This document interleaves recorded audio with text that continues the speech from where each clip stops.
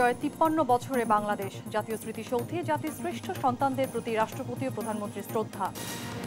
পদ্মা সেতু metro rail আর Karnaphuli tunnel কৃষিকে ছাপিয়ে শিল্প সমৃদ্ধির পথে এশিয়ার এমার্জিং টাইগার বাংলাদেশ।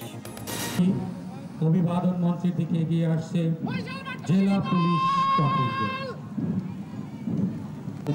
রয়েছে আর্মড পুলিশ কুচকাওয়াজ সহ নানা আয়োজনে বিনম্র শ্রদ্ধায় দেশ জুড়ে বীর শহীদদের স্মরণ। দেশকে এগিয়ে নেওয়ার প্রত্যয়। বাহান্ন বছর পরে মুক্তিযুদ্ধের প্রকৃত চেতনা বিমুখ তরুণ প্রজন্ম। ধর্মনিরপেক্ষ দেশ গঠনে বড় অন্তরায় বলছেন বিশেষজ্ঞরা।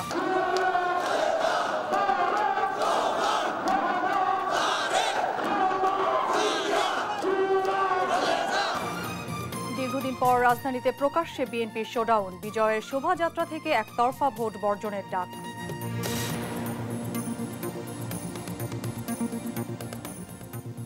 মহান বিজয় দিবসের শুভেচ্ছা। আমন্ত্রণ দেশ জনপদ সংবাদে। সঙ্গে আছি অরিনিশ রাত আজ বাঙালির বিজয়ের দিন। উনিশশো সালের আজকের দিনে বিশ্বের বুকে মাথা উঁচু করে দাঁড়ায় বাংলাদেশ। বায়ান্ন পেরিয়ে তিপ্পান্ন বছরে পা দিল প্রিয় মাতৃভূমি। বিনম্র শ্রদ্ধায় দেশ জুড়ে স্মরণ করা হচ্ছে একাত্তরের বীর শহীদদের। সকালের প্রথম প্রহরেই সাভারের জাতীয় স্মৃতিসৌধে জাতির শ্রেষ্ঠ সন্তানদের প্রতি শ্রদ্ধা জানান রাষ্ট্রপতি মোহাম্মদ শাহাবুদ্দিন ও প্রধানমন্ত্রী শেখ হাসিনা। শ্রদ্ধা নিবেদন শেষে আওয়ামী লীগ সাধারণ সম্পাদক ওবায়দুল কাদের বলেছেন, যারা নির্বাচন বাধাগ্রস্ত করছে, তারা দেশের রাজনৈতিক অগ্রযাত্রাকে থামিয়ে দিতে চায়। শামীমা আক্তারের রিপোর্ট। ভোরের আলো ফোটার আগেই মুক্তিযুদ্ধে বীর শহীদদের প্রতি শ্রদ্ধা নিবেদন করতে জাতীয় স্মৃতিসৌধে পৌঁছান রাষ্ট্রপতি ও প্রধানমন্ত্রী।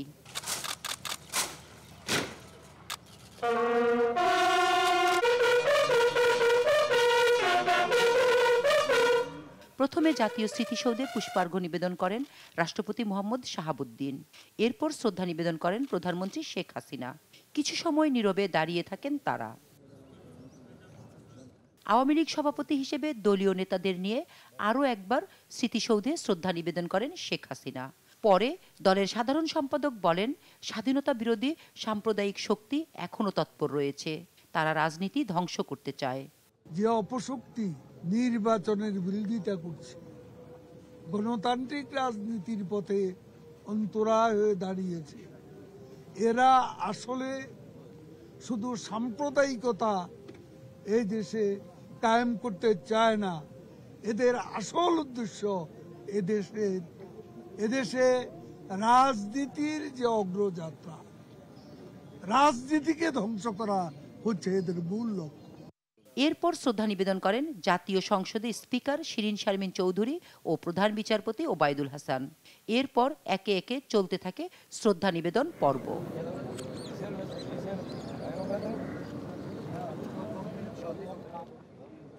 এদিকে মহান বিজয় দিবসে ধানমন্ডি বত্রিশ নম্বরে জাতির পিতা বঙ্গবন্ধু শেখ মুজিবুর রহমানের প্রতিকৃতিতে শ্রদ্ধা নিবেদন করেন প্রধানমন্ত্রী। পরে আওয়ামী লীগের যুগ্ম সাধারণ সম্পাদক ও তথ্যমন্ত্রী ডক্টর হাসান মাহমুদ বলেন, একাত্তরের পরাজিত শক্তি দেশের অগ্রযাত্রাকে ব্যাহত করতে চায়। সাধারণ মানুষের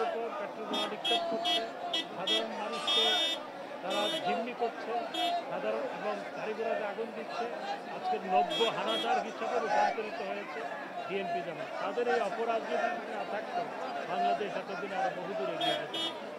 সুতরাং বাংলাদেশকে ঠিকানায় নিয়ে যেতে হলে এই এবং যারা করে তাদেরকে নির্মূল করতে এ সময় তারা দেশের উন্নয়নের ধারা অব্যাহত রাখতে আগামী নির্বাচনে আবারও শেখ হাসিনাকে বিজয়ী করার আহ্বান জানান। বিজয়ের বান্ন বছর পর এখনও সক্রিয় রয়েছে স্বাধীনতা বিরোধী সাম্প্রদায়িক শক্তি। যারা নৎসাত করতে চায় দেশের রাজনীতি। এমনটিই বলছেন, শ্রদ্ধা নিবেদন করতে আসা রাজনৈতিক দলের নেতারা। তারা বলছেন, এদেরকে প্রতিহত করতে ঐক্যবদ্ধভাবে সবাইকে সজাগ থাকতে হবে। শামিমা আক্তার, দেশ টিভি, জাতীয় স্মৃতিসৌধ, সাভার। বিজয়ের প্রথম প্রহরে নানা শ্রেণি পেশার মানুষের ঢল মেশে সাভারের স্মৃতিসৌধে। শিশু থেকে বৃদ্ধ, কারও হাতে ব্যানার, কেউ বা এসেছেন ফেস্টুন, প্ল্যাকার্ড আর ফুল হাতে সব পথ যেন মিশেছে বীর শহীদদের গৌরবোজ্জ্বল আত্মত্যাগের ইতিহাস বুকে নিয়ে দাঁড়িয়ে থাকা স্মৃতিসৌধে। সকলের কণ্ঠে একটাই প্রত্যয়, বাংলাদেশ ও বাঙালিকে এগিয়ে নেয়া। সাভার থেকে আরও জানাচ্ছেন ফখরুল ইসলাম। বিজয়ের আলো ফোটার আগেই দেশের নানা প্রান্তের শ্রেণীবর্ণ নির্বিশেষে এইসব মানুষের গন্তব্য সাভার স্মৃতিসৌধের বেদিতে। ফুল, প্লেকার্ড আর জাতীয় পতাকা হাতে তিপ্পান্নতম বিজয় উদযাপনে মানুষ অনুপ্রেরণার মন্ত্রে উজ্জীবিত। বিজয়ের ভোরে বিভিন্ন শ্রেণি পেশার মানুষের পাশাপাশি ফুল দিয়ে শুভেচ্ছা জানায় বিভিন্ন সংগঠনও। এ সময় তাদের কণ্ঠে ছিল বাংলাদেশ ও বাঙালিকে এগিয়ে নেওয়ার প্রত্যয়। মানবিক চিন্তা চেতনায় সমৃদ্ধ একটা তরুণ সমাজ হতে হবে যারা দেশকে এবং নিজেদের দক্ষ করে গড়ে তুলতে হবে যারা দেশকে অগ্রসর করে নিয়ে যাবে। যে আমাদের নাগরিক তাদেরকে একটা মানসিকতা ধারণ করতে হবে সেখানে বৈচিত্র্যকে মেনে নিতে হবে। সকাল থেকে জাতীয় স্মৃতিসৌধের বেদিতে ফুল দিতে আসে বিভিন্ন রাজনৈতিক সংগঠন। বিজয়ের বান্ন বছর পূর্তির দিনটিতে মিছিল স্লোগানে মুখর ছিল পুরো জাতীয় স্মৃতিসৌধ প্রাঙ্গণ। এর আগে শনিবার সকালে মুক্তিযুদ্ধ বিষয়ক মন্ত্রীর নেতৃত্বে বীরশ্রেষ্ঠ পরিবার, যুদ্ধাহত মুক্তিযোদ্ধা ও বীর মুক্তিযোদ্ধারা পুষ্পস্তবক অর্পণ করেন। পরে শ্রদ্ধা জানান ঢাকায় নিযুক্ত বিভিন্ন দেশের কূটনীতিক মিশন প্রধানরা। এরপরেই স্মৃতিসৌধে ঢল নামে সর্বসাধারণের। বীর শহীদদের ফুলের শুভেচ্ছা জানান বিভিন্ন রাজনৈতিক দল, সামাজিক, সাংস্কৃতিক সংগঠনের নেতাকর্মীরা। শ্রদ্ধা নিবেদন শেষে বিএনপি নেতারা অভিযোগ করেন, একতরফা নির্বাচনের পথে হাঁটছে সরকার। বিশ্বাসঘাতকতা করে এদেশে গণতন্ত্রের অপমৃত্যু ঘটিয়েছে এবং তারা চরম দুর্নীতির মাধ্যমে বাংলাদেশের অর্থনীতিকে ধ্বংস করে দিয়েছে। নির্বাচনের নামে যে খেলা চলছে ওই খেলার ফলাফল ঢাকায় বসে নির্ধারণ করা হচ্ছে। আগামী সাত তারিখে শুধু সেই ফলাফল ঘোষণা করা হবে। একাত্তরের বীর যোদ্ধাদের প্রতি বিনম্র শ্রদ্ধা জানান জাতীয় পার্টি জাতীয় সমাজতান্ত্রিক দল জাসদ বাংলাদেশ কমিউনিস্ট পার্টি সহ বিভিন্ন রাজনৈতিক সংগঠন। সাংবিধানিক দ্বারা থেকে সরে আবার তারা মুক্ত হতে চাচ্ছে। এই যে চক্রান্ত ষড়যন্ত্র, সেটা মোকাবিলা করে আমাদের মুক্তিযুদ্ধের পক্ষে বাংলাদেশকে নিয়ে যেতে হবে। হোয়াটে অবস্থার মধ্যে দিয়ে যে নির্বাচনটা হতে যাচ্ছে, সেই পুরনো মুখগুলো, সেই যারা লুটপাট করেছে গত কত বছর ধরে, তাদেরকেই আবার যদি সংসদে পাওয়া যায়, সেখান থেকে কি নতুনত্ব আমরা আশা করতে পারি? বিজয়ের তেপ্পান্নতম বছরে স্মৃতিসৌধে শ্রদ্ধা জানাতে আসা জনসাধারণের প্রত্যাশা, মুক্তিযুদ্ধের প্রকৃত চেতনার সুফল পাক বাংলাদেশ। দেশ হোক অসাম্প্রদায়িক চেতনার সোনার বাংলা। মহান বিজয়ের এই দিন গৌরব, অনুপ্রেরণা আর বাঙালির এগিয়ে যাওয়ার বান্নতম বিজয় বার্ষিকীর প্রত্যয় মুক্তিযুদ্ধের চেতনা হোক, তারুণ্যের অঙ্গীকার। একই সঙ্গে অর্থনৈতিক মুক্তি আর রাজনৈতিক স্থিতিশীলতা প্রতিষ্ঠাই হোক নতুন বাংলাদেশের লক্ষ্য। সে প্রত্যাশা, শ্রদ্ধা জানাতে আসা সকল শ্রেণি পেশার মানুষের। ফখরুল ইসলাম, দেশ টিভি, সাভার জাতীয় স্মৃতিসৌধ, ঢাকা। বিজয় দিবস উপলক্ষে বঙ্গভবনে সর্বস্তরের মানুষের সঙ্গে শুভেচ্ছা বিনিময় করছেন রাষ্ট্রপতি। উপস্থিত আছেন প্রধানমন্ত্রী। সরাসরি যাচ্ছি বঙ্গভবনে।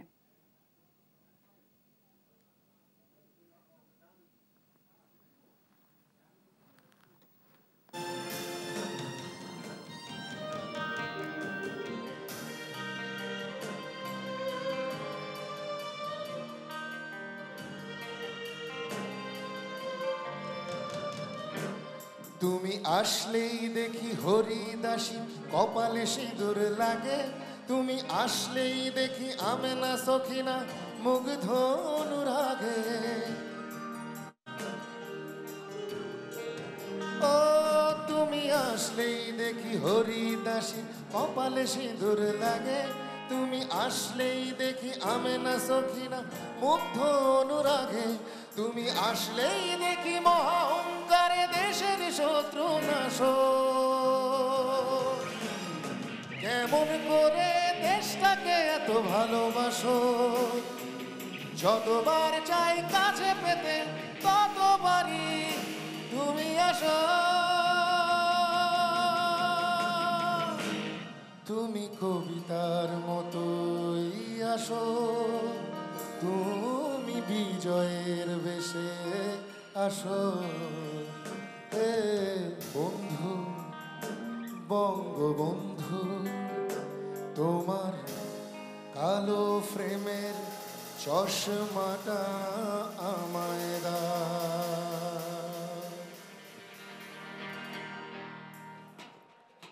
এবারে গান গাইবে জনপ্রিয় তরুণ শিল্পী হৈমন্তী রক্ষিত। হৈমন্তী রক্ষিত a very prominent name in the artist circle, will perform for us this evening a song from the popular list of patriotic songs.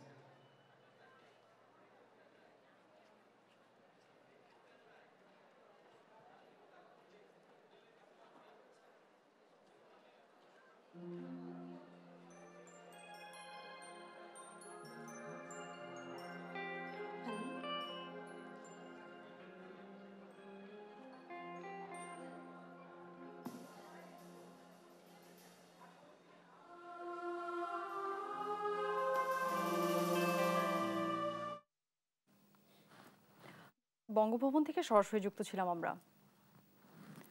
বিশ্বে একচল্লিশতম অর্থনৈতিক সমৃদ্ধ উন্নয়নের রোল মডেল এখন বাংলাদেশ। কৃষি নির্ভরতা থেকে শিল্প সমৃদ্ধ বাংলাদেশিদের লক্ষ্য এখন উন্নত জীবনের। মৌলিক অধিকার পূরণ করে যুদ্ধজয়ী বীর জাতি আজ এশিয়ার ইমার্জিং টাইগার স্বপ্ন এখন শুধু সামনে এগিয়ে যাওয়ার। দু হাজার একচল্লিশ সালে উন্নত সমৃদ্ধ দেশের সোপান ছোঁয়ার। বিজয়ের এই সময়ে অর্থনীতি আর উন্নয়নে এগিয়ে যাওয়া বাংলাদেশের গল্প তুলে ধরছেন ফখরুল ইসলাম। সুজলা সুফলা শস্য শ্যামলা কৃষি নির্ভর বাংলাদেশ উনিশশো সাল থেকে বান্ন বছরে শিল্প নির্ভর দেশ। শুধু পোশাক শিল্প থেকে বছরে দেশের বৈদেশিক মুদ্রা আসে রপ্তানি আয়ের পঁচাশি ভাগ। দেশ জুড়ে শিল্প বিপ্লবকে আরও সমৃদ্ধ করেছে শতাধিক শিল্পাঞ্চল। গড়ে উঠেছে ছোট বড় আরও বহু রপ্তানিমুখী শিল্প।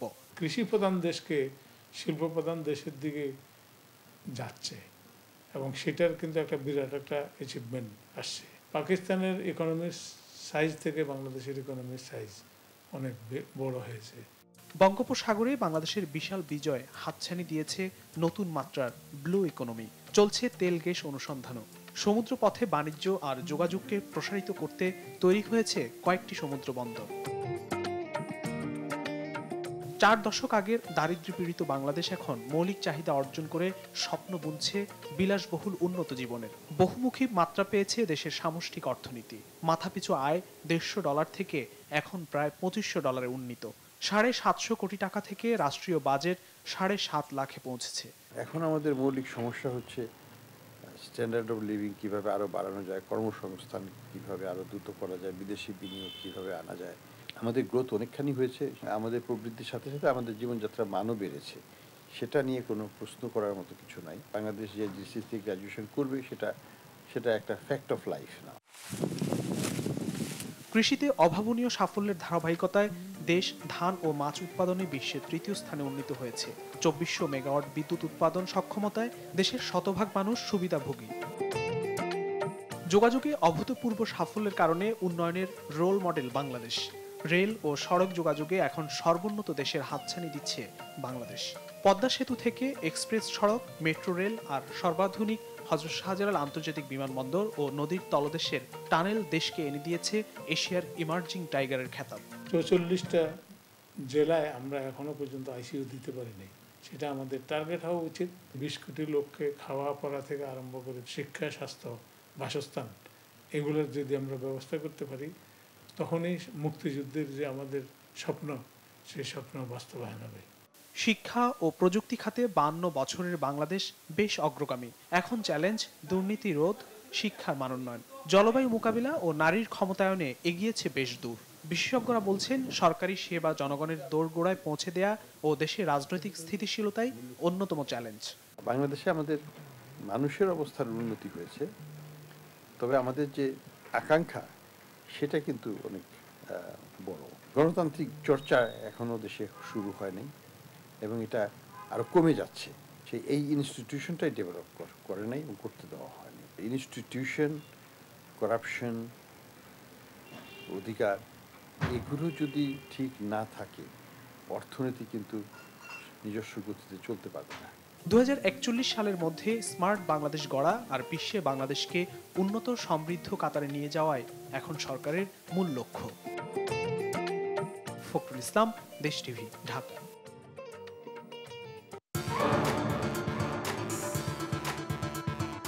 সারা জীবন তো চাকরি করব না। তাই ক্যাপিটাল রেডি করেছি আমার ফাইন্যান্সিয়াল পার্টনার আইডিএলসির সাথে।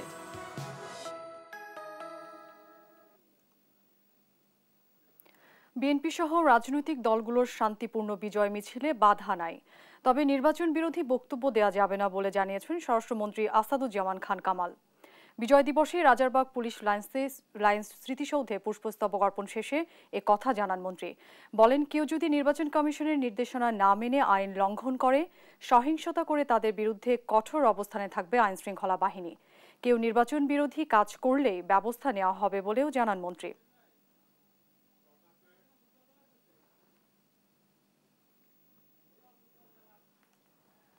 শিডিউল ঘোষণা হয়ে গিয়েছে।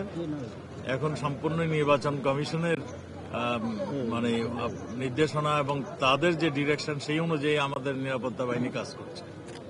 আমাদের, আমি আগেও বলেছি, একটা নির্দেশনা তারা দিয়েছিলেন, সেটা মানে সেইটা যথাযথভাবে পালন করার জন্য আমাদের নিরাপত্তা বাহিনী মানে রেডি রয়েছে। আর আজকে যেহেতু বিজয় দিবস, বিজয়ের আনন্দ সবাই করবে, এটাই স্বাভাবিক। তো এইটা যেন সংযতভাবে করে এইটা যেন নির্বাচন মুখী যারা তাদের বিপরীতে এই কর্মকাণ্ড, কোনো কর্মকাণ্ড না করে, সেই সেইটা আমাদের নিরাপত্তা বাহিনী খেয়াল রাখবে। নানা আয়োজনে দেশজুড়ে পালিত হচ্ছে বিজয় দিবস। শহীদ বেদিতে পুষ্পস্তবক অর্পণ, শিশু কিশোরদের বর্ণাঢ্য কুচকাওয়াজ সহ নানা আয়োজন ছিল দিনভর। জেলার সহকর্মীদের তথ্যচিত্র নিয়ে আরও জানাচ্ছেন আল নোমান। বিজয়ের বাহান্ন বছর পূর্তি। টেকনাফ থেকে তেতুলিয়া সবখানে বিজয়ের আনন্দে রঙিন। রংপুরের মডার্ন মোড়ে একত্রিশ বার তোপধ্বনির মধ্য দিয়ে শুরু হয় বিজয় দিবসের আনুষ্ঠানিকতা। ডিসির মোড়ে বঙ্গবন্ধুর মুরালে পুষ্পস্তবক অর্পণ করেন আওয়ামী লীগের নেতাকর্মীরা। নানা আয়োজন ছিল বন্দরনগরী, চট্টগ্রামে। সকাল আটটায় এম এ আজিজ স্টেডিয়ামে জাতীয় পতাকা উত্তোলনের পর বর্ণাঢ্য কুচকাওয়াজে অংশ নেয় বিভিন্ন শিক্ষা প্রতিষ্ঠানের শিক্ষার্থীরা।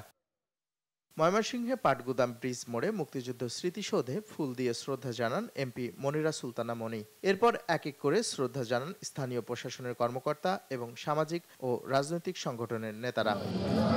খুলনার গল্লামারী বদ্ধভূমি স্মৃতিসৌধে সকালে প্রথম পুষ্পস্তবক অর্পণ করেন মুক্তিযোদ্ধারা। এরপর ঢল নামে নানা শ্রেণি পেশার মানুষের। কুষ্টিয়ায় শনিবার সকাল ছটা উনচল্লিশ মিনিটে একত্রিশ বার তপধ্বনির মধ্য দিয়ে শহীদ স্মৃতিস্তম্ভে পুষ্পস্তবক অর্পণ করা হয়। এছাড়াও নানা আয়োজন ছিল জেলা জুড়ে। মাগুরায় দিনের প্রথম প্রহরে শহরের নোমানী ময়দানের শহীদ বেদিতে পুষ্পার্ঘ্য অর্পণ করে বিভিন্ন প্রতিষ্ঠান, সামাজিক ও রাজনৈতিক সংগঠনের নেতারা। নানা আয়োজন ছিল নড়াইলে। সকাল সাড়ে আটটায় বীরশ্রেষ্ঠ নূর মোহাম্মদ স্টেডিয়ামে বর্ণাঢ্য কুচকাওয়াজে অংশ নেয় বিভিন্ন শিক্ষা প্রতিষ্ঠানের শিক্ষার্থীরা। বীর শহীদদের স্মরণে নানা আয়োজন ছিল মেহেরপুরে। শহরের কলেজ মোড়ে শহীদ বেদিতে পুষ্পস্তবক অর্পণ করে স্থানীয় প্রশাসন এবং বিভিন্ন সংগঠনের নেতারা। নাটোরের শহীদ বেদিতে পুষ্পস্তবক অর্পণ করা হয়। পরে বীর শহীদদের আত্মার মাগফেরাত কামনা করে এক মিনিট নিরাপত্তা পালন ও বিশেষ মোনাজাত করা হয়। ফেনীর জেল রোডের সামনে স্মৃতিস্তম্ভে পুষ্পস্তবক অর্পণ করেন জেলা প্রশাসক, পুলিশ সুপার সহ বিভিন্ন রাজনৈতিক ও সামাজিক সংগঠনের নেতৃবৃন্দ। পঞ্চগড়ে সূর্যোদয়ের সাথে সাথে মুক্তিযোদ্ধা চত্বরে পুষ্পস্তবক অর্পণ শেষে বীর শহীদদের রুহের মাগফিরাত কামনায় মোনাজাত করা হয়। বিনম্র শ্রদ্ধায় পিরোজপুরে পালিত হয় বিজয় দিবস। বলেশ্বর ঘাটের শহীদ স্মৃতি স্তম্ভে একত্রিশ বার তপধ্বনির মধ্য দিয়ে বিজয়ের কর্মসূচি শুরু হয়। শহীদ বেদিতে পুষ্পস্তবক অর্পণ করেন মৎস্য ও প্রাণী সম্পদ মন্ত্রী সহ বিভিন্ন সংগঠনের নেতারা। Al Noman, news desk, Desh TV. বিজয় দিবসের আরও খবরাখবর জানাতে এই মুহূর্তে ভোলা থেকে সরাসরি যুক্ত হচ্ছেন সহকর্মী ছোটন সাহা। ছোটন, বিজয় দিবস ঘিরে ভোলায় কি কি আয়োজন চলছে সবশেষ খবরাখবর জানাবেন।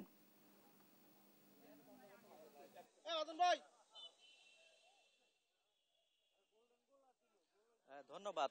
অরিন, যেমনটি বলছিলেন ভোলার জেলা প্রশাসনের আয়োজনে এই যে মহান বিজয় দিবস উদযাপিত হচ্ছে।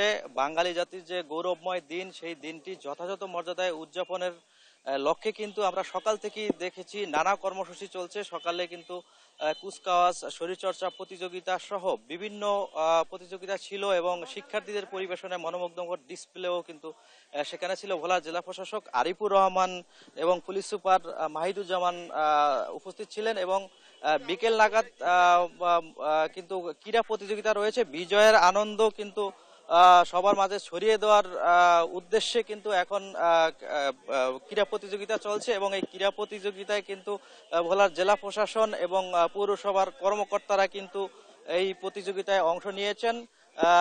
এবং এর কিছুক্ষণ পরে এই মাঠে বলার যে ঐতিহ্যবাহী সরকারি স্কুল মাঠ, এই মাঠে কিন্তু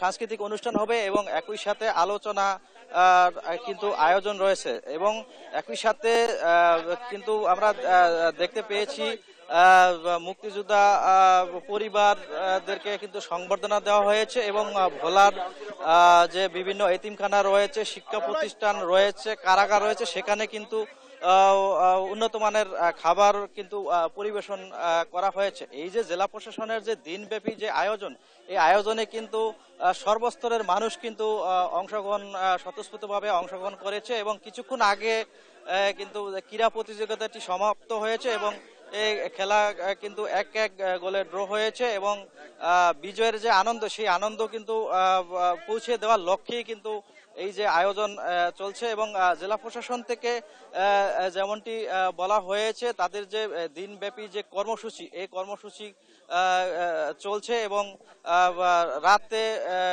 যে আলোচনা সভা রয়েছে এবং সাংস্কৃতিক অনুষ্ঠান রয়েছে এবং জাদু প্রদর্শনী রয়েছে, সেসব অনুষ্ঠানে কিন্তু রয়েছে এবং এখন যে আয়োজন, সেই অল্প কিছুক্ষণ পরে কিন্তু জেলা প্রশাসনের আয়োজনে মহান বিজয় দিবসের আলোচনা সভা অনুষ্ঠিত হবে। তো, অরিন, এ ছিল আমার কাছে ভোলাতে যে জেলা প্রশাসন সহ, মুক্তিযোদ্ধা সংসদ সহ বিভিন্ন দপ্তরের আয়োজনে যে মহান বিজয় দিবস উদযাপিত হচ্ছে, তা নিয়ে সর্বশেষ তথ্য। ছোটন আপনাকে ধন্যবাদ। বিজয় দিবসের আরও খবরাখবর জানাতে এই মুহূর্তে ময়মনসিংহ থেকে সরাসরি যুক্ত হচ্ছেন সহকর্মী ইলিয়াস আহমেদ। ইলিয়াস, বিজয় দিবস ঘিরে ময়মনসিংহে কি কি আয়োজন চলছে, জানাবেন। ওরিন দিনভর নানান আয়োজনের মধ্য দিয়ে মহান বিজয় দিবসের যে আনুষ্ঠানিকতা, সেটি কিন্তু এখনও পর্যন্ত চলছে। আমি এখন রয়েছি ময়মনসিংহ সদর উপজেলার রাঘবপুর খেলার মাঠে রয়েছে। এখানে কিন্তু আশরাফুল সুমন স্মৃতি পরিষদের উদ্যোগে মিনি বার ফুটবল টুর্নামেন্টের ফাইনাল ম্যাচটি, সেটি কিন্তু মহান বিজয় দিবস উপলক্ষে অনুষ্ঠিত হচ্ছে। এবং কিছুক্ষণ আগেই এই ফাইনাল ম্যাচের খেলা সেটি কিন্তু শুরু হয়েছে। অর্থাৎ দুইটি দলেই কিন্তু প্রাণবন্ত খেলে যাচ্ছেন এবং তাদের খেলা উপভোগ করার জন্য কিন্তু এই সাধারণ মানুষ, অর্থাৎ দর্শকরা কিন্তু চারপাশে কিন্তু অবস্থান করছেন এবং তারা বলছেন যে প্রতি বছরেই এই খেলার আয়োজন করা হয় এবং এই খেলার মাধ্যমে কিন্তু আসলে তারা আনন্দ উপভোগ করে থাকেন এবং যারা আয়োজক রয়েছেন তারাও কিন্তু বেশ জোরালোভাবে সেই খেলাটি তারা প্রতি বছরেই আয়োজন করে থাকেন এবং তারাও বলছেন যে আগামীতে হয়তো আরও বড় পরিসরে এই খেলার আয়োজন কিন্তু করা হবে। সেই বিষয়টি কিন্তু তারা বলছিলেন, আমরা এখানকার যে যারা আয়োজন করে থাকেন এবং তাদেরকে যারা আসলে এই সহযোগিতা করে থাকেন নানানভাবে, আমরা একটু- একজনের সাথে কথা বলব। আসলে এই খেলার মাধ্যমে এখানকার যুব সমাজের একটা বন্ধন তৈরি হয়। আসলে এই খেলাটা কি সামনের বছর আরও বড় পরিসরে হবে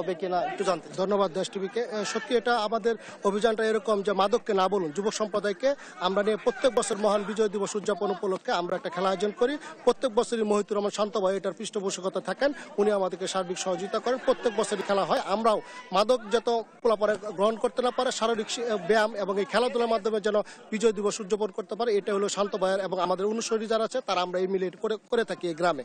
তো আগামী বছর আমরা এর চেয়ে বড় করে একটা খেলা আয়োজন করব, এ আশাই আমরা করছি। হ্যাঁ, ধন্যবাদ অরিন। শুনছিলেন যে আসলে মাদককে না বলুন এবং যুব সমাজ যেন খেলাধুলায় মনোযোগী হয় সেই বিষয়টি নিয়ে কিন্তু তারা এই খেলার আয়োজন করেছেন। আর আজকে এই খেলায় কিন্তু প্রথম পুরস্কার রাখা হয়েছে একটি ফ্রিজ রাখা হয়েছে এবং যারা রানার্স আপ হবেন তাদের জন্য কিন্তু একটি এলইডি টেলিভিশনও রাখা হয়েছে। অর্থাৎ খেলাটিকে ঘিরে কিন্তু সাধারণ মানুষ যারা রয়েছেন তাদের মধ্যে আমরা ব্যাপক উৎসাহ উদ্দীপনা লক্ষ্য করছি এবং তারা বলছেন যেন প্রতি বছরেই সাধারণ আহ, যারা দর্শক রয়েছেন তারা বলছেন প্রতি বছরই যেন এমন খেলার আয়োজন করা হয়। সেই বিষয়টি কিন্তু তারা বলছিলেন। এই ছিল আমার কাছে ময়মনসিংহ থেকে মহান বিজয় দিবস উপলক্ষে দিনভর আয়োজনের আজকের যে মিনিবার ফুটবল টুর্নামেন্ট অনুষ্ঠিত হচ্ছে তা নিয়ে সর্বশেষ। ইলিয়াস আপনাকে ধন্যবাদ।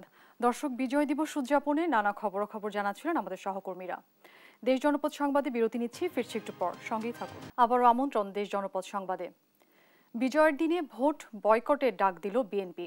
দেড় মাস পর প্রকাশ্যে রাজধানীতে বড় শোডাউন করেছে দলটি।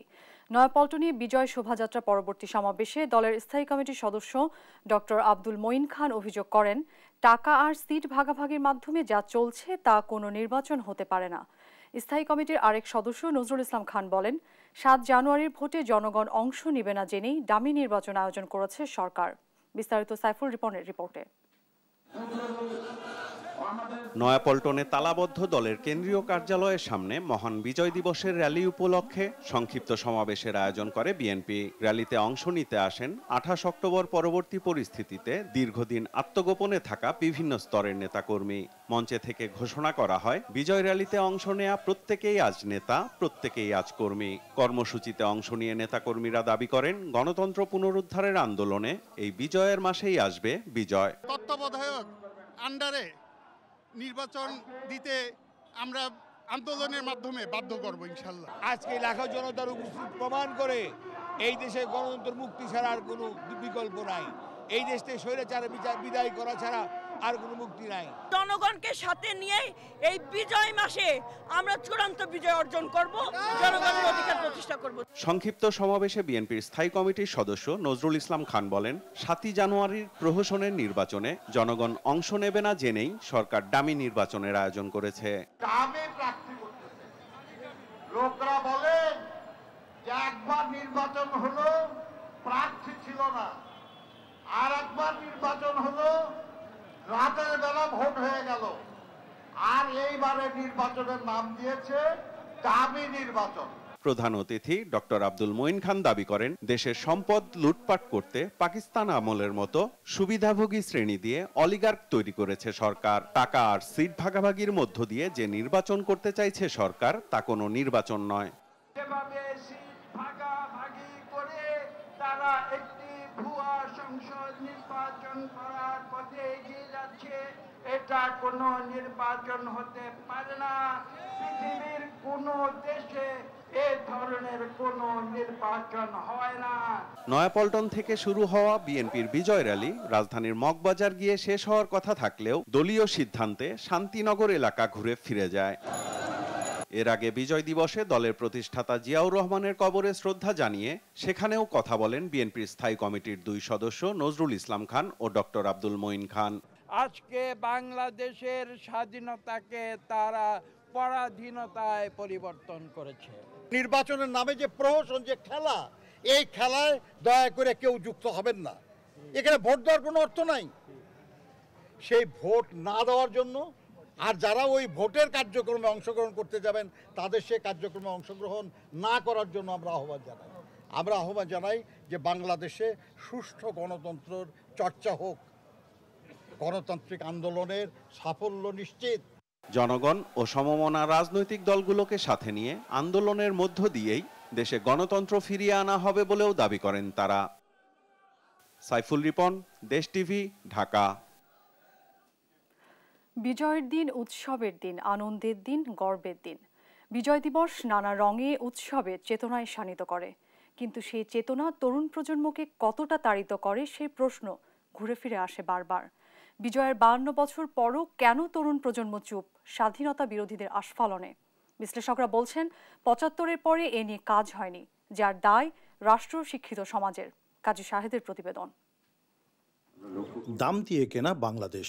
তার বিজয়ের তাৎপর্য এক একজনের কাছে এক এক রকম। পাওয়া না পাওয়ার আক্ষেপ আছে আছে এগিয়ে যাওয়ার গল্প। আগামীর পথটা এগিয়ে নিতে তাই সবচেয়ে বড় নিয়ামক তরুণরা। মুক্তিযোদ্ধারা যারা আমাদের দেশের জন্য প্রাণ দিয়েছেন বা বুদ্ধিজীবীরা এখন তাদের তাদের অবদান। আমাদের এই প্রজন্ম অনেকেই আমরা মানে বুঝি না বা জানি না। তথ্য প্রযুক্তির অবাধ বিচরণের ফলে আমাদের ওই মুক্তিযুদ্ধের প্রতি যে আমাদের তরুণ প্রজন্মের যে চেতনাটা থাকা দরকার ওটা আমরা ওইভাবে শানিত করতে পারছি না। দেশ আমাদের জন্য কখন কি করবে সেটার জন্য অপেক্ষা করে না থেকে আমি নিজের চেষ্টায় আমার দেশের জন্য কি করতে পারি, এটা হচ্ছে আমার মনে হয় সব থেকে বড় একটা আত্ম উপলব্ধি মুক্তি সংগ্রামের চেতনা এখনও তরুণ প্রজন্মকে সেভাবে তাড়িত করে না। বঙ্গবন্ধু শেখ মুজিবুর রহমান সদ্য স্বাধীন দেশের জন্য একটি সেকুলার সংবিধান করেছিলেন। তাকে হত্যা করে মাঝের সময়টা সংবিধান ছিন্ন বিচ্ছিন্ন করা হয়েছে যা থেকে চেতনা বিমুখ হয়েছে তরুণ প্রজন্ম। তরুণ প্রজন্মের মধ্যে মুক্তিযুদ্ধের চেতনা এবং স্বাধীনতার মূল আদর্শকে গঠিত করার জায়গাটা এখনও কাজ করার সুযোগ রয়ে গেছে। সংবিধান দেওয়ার সময় যে একটা রাষ্ট্র কাঠামোর ভিতরে একটা আদর্শবোধ আদর্শ আদর্শগত ভিত্তি তিনি তৈরি করেছিলেন চার রাষ্ট্রীয় মূলনীতির ভিত্তিতে। সেই জিনিসটা মানে নাই। যে অন্ধকার আমরা মনের মধ্যে একটা শ্রেণির মানুষ এখনও বহন করে চলেছে এটা ক্রমাগতভাবে বাংলাদেশের সার্বিক অগ্রগতির অন্তরায় হয়ে দাঁড়াচ্ছে। বিজয় অর্জনের বাউন্ন বছর পরও স্বাধীনতা বিরোধী শক্তির আস্ফালনে তরুণ প্রজন্ম নিষ্ক্রিয়। মনে প্রাণে লালন করতে শেখেনি মুক্তিযুদ্ধের চেতনাকে। যা সেকুলার রাষ্ট্র গঠনে বড় ক্ষতির কারণ হতে পারে বলছেন বিশ্লেষকরা। মুক্তিযুদ্ধের চেতনাকে লালন করতে শেখে নেই মুক্তিযুদ্ধের চেতনাকে চর্চা করতে শেখে নেই। এটা যদি না শেখে তাহলে ভবিষ্যৎ নাগরিক সমাজ বাংলাদেশের ইতিহাস বা ঐতিহ্যের যে জায়গাটা আছে বাঙালি সংস্কৃতির যে জায়গাটা আছে সেটাকে আলটিমেটলি ভুলে যাবে। চেতনার জায়গাটি যেভাবে অগ্রযাত্রা দরকার যার ভিত্তিতে আসলে আমরা স্বাধীন হয়েছি সেটাকে সেটাকে ভিত্তি করে যে আমাদের সর্বক্ষেত্রে এগিয়ে যাওয়া। সেটা হয়নি। সংকটটা হচ্ছে নতুন প্রজন্ম যাদেরকে আমরা গড়ে তুলতে পারিনি তারা কোনো প্রতিবাদ করছে না। তরুণ প্রজন্মের মধ্যে মুক্তি সংগ্রামের চেতনা ধারণ করতে শেখাতে না পারার দায় এড়াতে পারে না মুক্তিযুদ্ধের পক্ষের দাবি করা সরকার ও শিক্ষিত সমাজ বলছেন শিক্ষাবিদরা। কাজী শাহেদ দেশ টিভি রাজশাহী। দেশ জনপদ সংবাদে বিরতি নিচ্ছি ফিরছি একটু পর। সঙ্গেই থাকুন। দেখছেন দেশ জনপদ সংবাদ। মুক্তিযুদ্ধের ইতিহাসে গুরুত্বপূর্ণ অধ্যায় মেহেরপুরের মুজিবনগর। এখানেই গঠিত হয়েছিল বাংলাদেশের মুক্তিযুদ্ধকালীন প্রথম অস্থায়ী সরকার। মুজিবনগরের প্রতিটি পরতে পরতে রয়েছে মুক্তিযুদ্ধের বাস্তব ইতিহাস, যা বর্তমান প্রজন্মের কাছে মুক্তিযুদ্ধে বাঙালির বীরত্ব ও পাক হানাদার বাহিনীর অত্যাচারের বাস্তব চিত্র। মেহেরপুরের মুজিবনগর ঘুরে নাহিদ হাসান তিতাসের রিপোর্ট।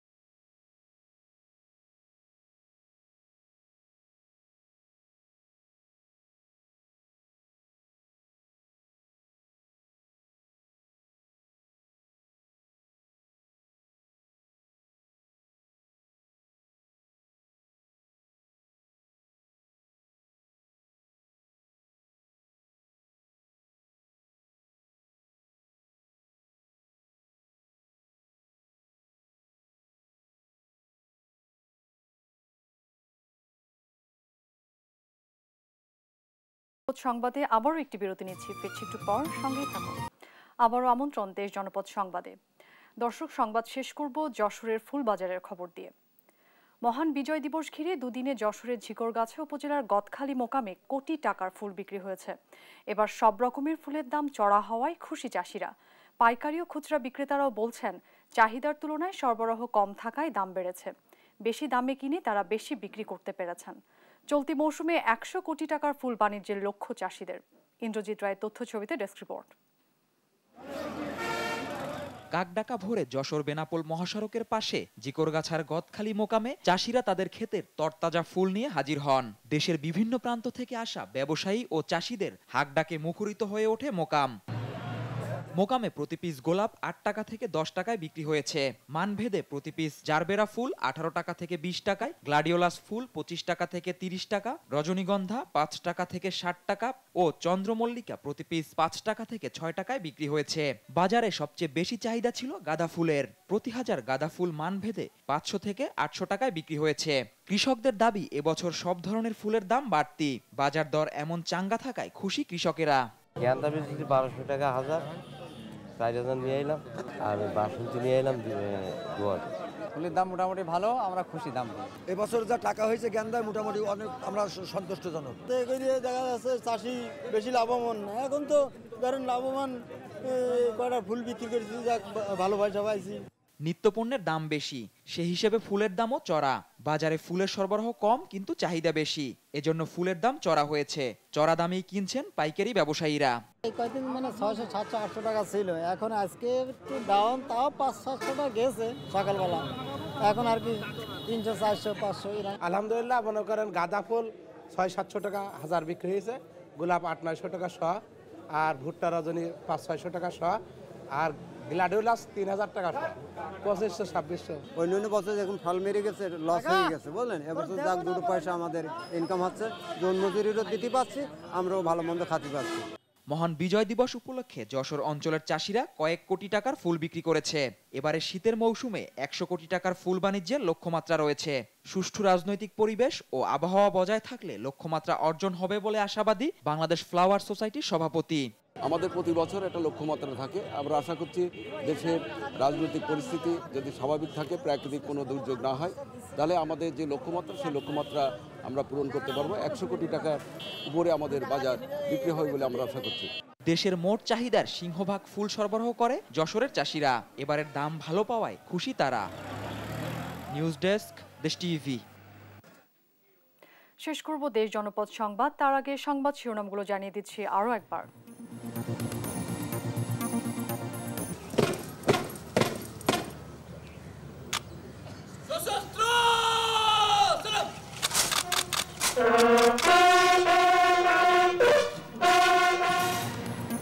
বিজয়ের তিপ্পান্ন বছরে বাংলাদেশ জাতীয় স্মৃতিসৌধে জাতির শ্রেষ্ঠ সন্তানদের প্রতি রাষ্ট্রপতি প্রধানমন্ত্রীর শ্রদ্ধা।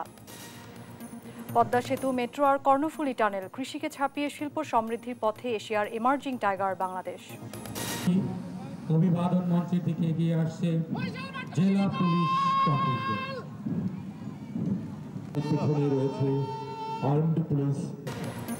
কুচকাওয়াজ সহ নানা আয়োজনে বিনম্র শ্রদ্ধায় দেশ জুড়ে বীর শহীদদের স্মরণ। দেশকে এগিয়ে নেওয়ার প্রত্যয়। বাহান্ন বছর পরে মুক্তিযুদ্ধের প্রকৃত চেতনা বিমুখ তরুণ প্রজন্ম। ধর্মনিরপেক্ষ দেশ গঠনে বড় অন্তরায় বলছেন বিশেষজ্ঞরা।